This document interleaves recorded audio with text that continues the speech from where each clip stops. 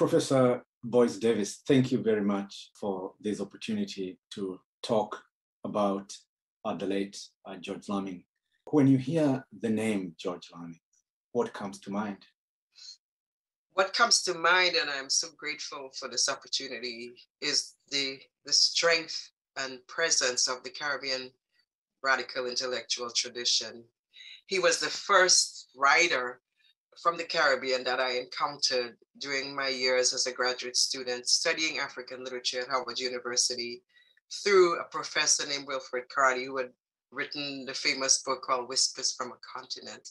Uh, and he invited George Lamming to campus. Now, keep in mind, Howard University is that place that almost everybody of note that you would want to meet from the Black world would somehow show up on campus. So George Lamming for me was the first.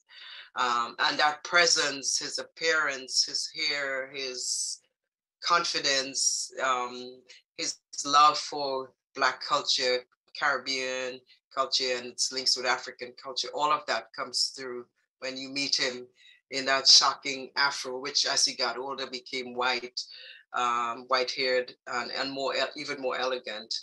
But he's the first, and I say this because I was on a campus where one would as I said, would meet many different people. And CLR James, the famous, taught a graduate course on Pan Africanism, which uh, friends of mine would take, and I would go and sit in the James class.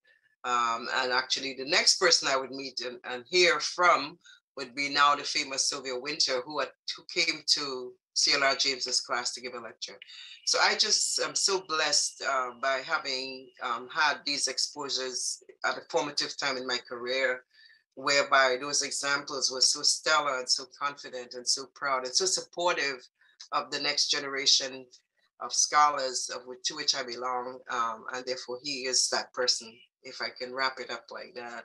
But then beyond that, um, the more, as you know, the more you grow and the more you study these writers, the more you learn. So his breadth would extend way beyond, of course, that first encounter with him and the novel In the Castle of My Skin all of his various works, uh, all of his um, other contributions, and of course his political linkages, and, and the way that he engaged every single one of the Caribbean radical um, activists and intellectuals, from Walter Rodney to Maurice Bishop.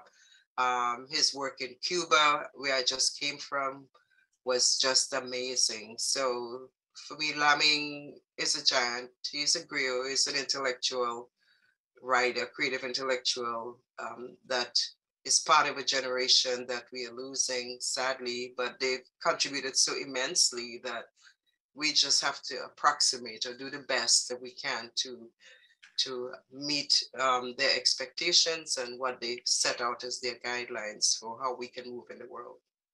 What would you consider to be the importance of his writing? How transformative uh, was uh, the work by George Lamming? Well, first of all, In the Castle of My Skin, an autobiographical novel, was the first time that we saw um, in writing, um, for me as, as a Black feminist scholar, the presence of the Caribbean woman and how she raised the child um, by herself in this particular case, but with, of course, extended community and family context in many ways that replicated some of our, our own experiences as Caribbean people growing up, the ways in which women have had to sometimes shoulder the burden of, of raising these children. The so-called mother who fathered me figure um, is clearly one that is represented there. But beyond that, the colonial childhood um, and how somebody like Lamming grew up in that childhood, its punitive,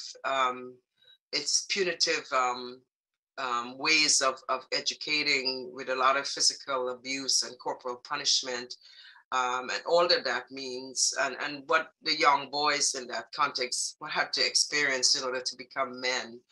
Um, so Lamming sort of, um, it, as part of that generation that grew up in the Caribbean under colonialism and then went to England to um, to further their, their careers and then became writers and became that formative generation you have then him expanding and then reflecting on what it is to be West Indian, first of all, so called, and then what it is to be a Caribbean intellectual, what it is to be a writer. And he's so definitive about that.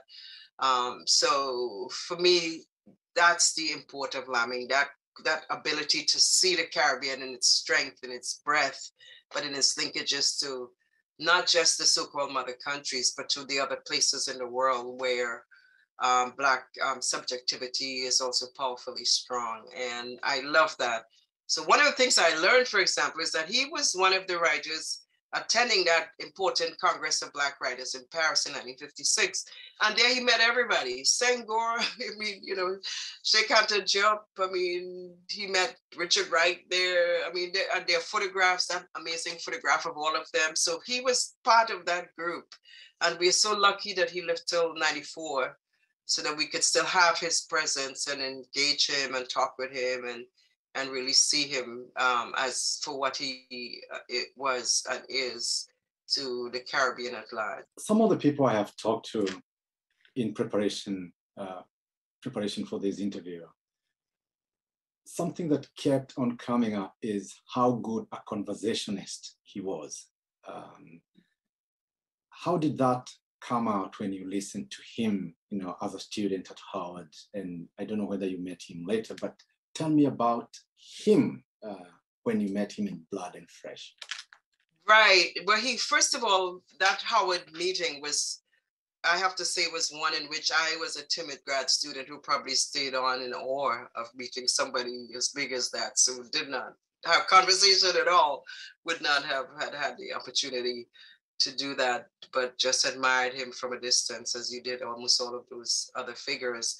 But I would subsequently invite him to speak at my university when I taught at State University of New York, Binghamton, and he came um, and um, spoke to my class and gave a presentation and you know, we did the normal things with dinner where you take the writer out. And then he came to my house and listened to Calypso music that I was playing for him and met my children. So he was then a much more you know, at home kind of person at that time, able to relax and enjoy the company of, of everybody. And I was actually asking my daughters recently if they remembered him. One did, and the other one was too little, so she didn't remember. But then um, the more significant encounter with him was that I had to interview him for my book uh, on Claudia Jones, um, the book called Left of Karl Marx, because he was a good friend of Claudia Jones in London. In fact, he was one of the pallbearers at her funeral. She died in 1964. So he was the one actually who I went to meet in Barbados in his, in his residence then at the Atlantis Hotel. And there he um, really gave me a nice, friendly encounter um, so we could talk about her. Um, he showed me the Atlantic Ocean, which from the Atlantis Hotel one could see and it seems he spent a lot of time walking the beach there. And he always reflected to me that when he stood at the Atlantis Hotel and looked out at the Atlantic, he thought of the the journeys of the slave ships and he could imagine them being out there because that, keep in mind barbados was one of the first places too that some of those ships docked and, and barbados became like the first british um, slave plantation colony right so he uh, he always saw the atlantic in its beauty, but in its strength and, and all its difficulties and what that what that means. And he had a vantage point from that Atlantis hotel. So that's the kind of thing he shared with with me. Um, and then also about Claudia Jones, he talked about her as an activist, as a radical intellectual, but the kind of person who who encouraged him to participate.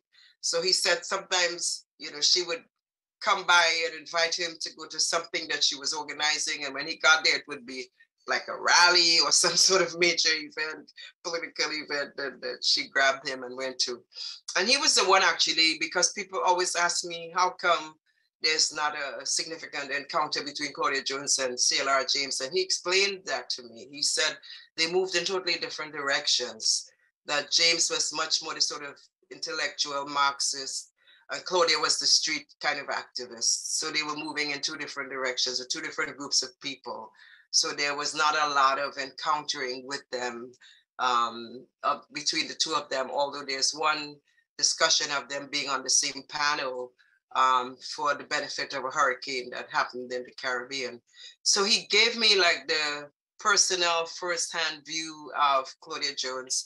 And uh, my book is stronger because of him um, infusing that sense of who she was into my own ability to write about her. And then he wrote the blurb at the back of the book, which is like really, I mean, to have George Lamming write a blurb for you for your book is like bingo, you know, you won already. You need nothing else. So those are the ways in which um, I remember him as a conversationalist and as a person who was so charming. Oh, and the other thing was I was at Brown University uh, talk, talking about Claudia Jones while he was a professor there. He would visit for five years. He and Ama Ata Aidoo um, would visit for five years, each in the spring semester or the fall, one of the two.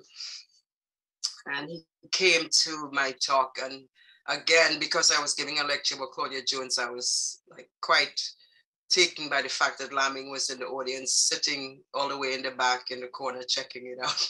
was, you know, you know, you had to really represent when when you have that kind of um, that kind of presence in the room.